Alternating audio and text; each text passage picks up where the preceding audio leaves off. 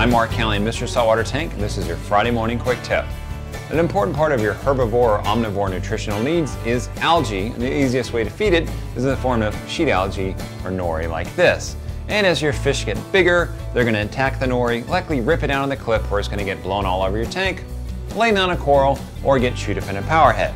So how do you feed those big fish that are hungry for the algae, but keep them from making a mess of your tank? Here's the easiest way I found to do it. First, I take about as much nori as they're gonna get fed at that time. So my guys get about a quarter sheet at any given time. And then I meter it out. I wanna take the curb off their appetite. The way I do that is feeding them just a little bit at a time. So I'll take this much, I'll put it on the clip, then I come back in five minutes. Once the fish have eaten all the algae off the clip, and they've got a little bit of food in their belly, I found that they're not as aggressive when it comes to eating the rest of the nori. Then what I'll do is put in the rest of the nori and let them go to town on that. But since I've already fed them once, they're not near as aggressive about the food, and I found that it doesn't get torn off the clip, even with my big triggerfish, because they've got a little bit of food in their bellies, their appetite is whetted just enough, it's curbed just enough, that they're not quite as aggressive when they go to eat. It doesn't make such a mess.